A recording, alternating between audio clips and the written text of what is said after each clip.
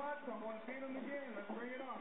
All right, big hand for Brian the Beast Baker, ladies and gentlemen. One more thing I'd like to say, everybody, thanks uh, Sean Lockwood taking this fight, especially with his coach Hector. I mean, he's just, he's a warrior and all that. I think I. Sure. On middleweight quarterfinal round night, this evening in Kansas City, Missouri, we have filled three of the